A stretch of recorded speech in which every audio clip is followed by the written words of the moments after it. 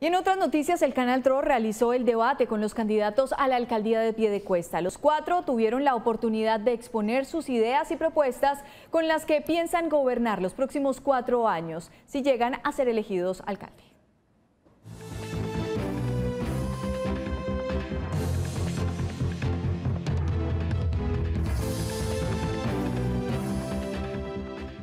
Muy puntuales llegaron los candidatos a las instalaciones del Canal TRO.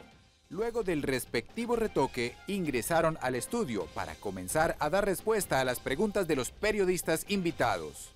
El primer tema fue la inseguridad. ¿Cuáles son las propuestas para proteger a los piedecuestanos? Más que implementar el pie de fuerza, eh, traer cámaras al municipio, traer mm, CAIS y toda esa cuestión, no estoy en contra, repito, no estoy en contra de eso porque esto sirve para vigilar.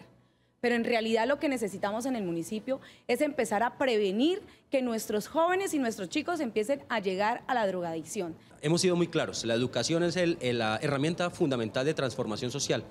Y si esto lo acompañamos de deporte, de cultura, de arte, en los barrios, de la mano de las juntas de acción comunal, en procesos transversales, pues vamos a sentir efectivamente la disminución de los problemas de seguridad. Metrolínea, el mototaxismo y los trancones son las problemáticas relacionadas con el transporte que merecen la atención de los candidatos. El tema del transporte masivo es un tema de calidad del servicio. ¿Cómo, cómo se mejora la calidad del servicio? Con aumento de frecuencias y capacidad transportadora.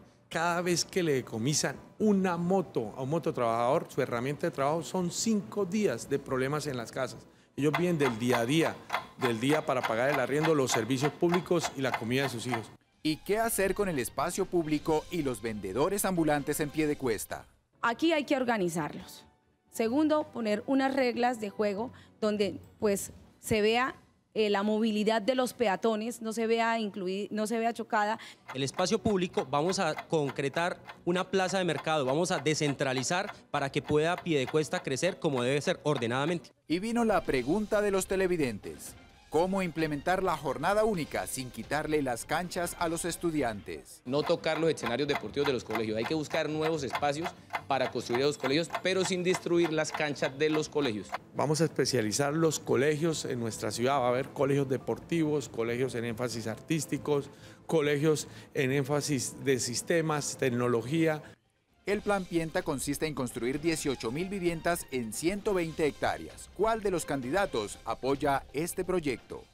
Pero antes de construirla, tenemos que pensar en las ciudades sostenibles, tenemos que ser amigables con el medio ambiente. No podemos echarlo para atrás porque es que el medio ambiente no es negociable, es algo de nosotros. No podemos simplemente ceder ante una eh, necesidad, sino que hay que pensarla, hay que replantear cómo se puede llevar a cabo. Todos los candidatos se oponen al basurero metropolitano en Piedecuesta. La solución de regional y con nuevas tecnologías, tecnologías amables con el medio ambiente, pero no puede quedar en Piedecuesta. Esa es una realidad. Nosotros votamos basura en Piedecuesta, pero que seamos la cloaca del área metropolitana no lo vamos a permitir en los próximos cuatro años. Llegó el momento de hablar de los servicios públicos y empezaron los señalamientos. Bueno, el problema de los servicios públicos es grave. Desde la alcaldía de, Jorge, que se, se empeñó, se endeudó, se vendió el alumbrado público, han venido haciéndolo de manera reiterada con otros servicios. Usted me está a mí haciendo un señalamiento y le digo lo siguiente. Nosotros eh, estaban en un 21% la tarifa de alumbrado público y cuando llegué a la alcaldía la bajamos 5 puntos porcentuales, que quedó en el 16% esta tarifa de alumbrado público. Aquí, doctor Navas, le voy a entregar el acuerdo municipal que usted firmó en el 99, privatizando el alumbrado público. Esta es su firma, ¿cierto? Y aquí está el acuerdo que usted firmó, el, contrato que usted firmó como alcalde en el año 2009. Si quiere, lo entrego para que recuerde su firma. Jorge Hermano. Yo sí quiero decirle al doctor Mario José que no niegue que el grupo político que está en la piecuestana es Jaime Durán Barrera. Y el Jaime Durán Barrera le dio a usted el aval del Partido Liberal para quedarse los próximos cuatro años gobernando allí en la Piecuestana y eso no lo vamos a permitir nosotros los piecuestanos. Jaime Durán a mí no me dio ningún aval. Si usted mira fue Miguel Ángel Sánchez, que ustedes saben que es el secretario general del partido. Luego vinieron las preguntas entre candidatos. Que si el año entrante se posicionaría como concejal de Piedecuesta. Bueno, le quiero decir a todos los piecuestanos que nosotros vamos liderando las encuestas.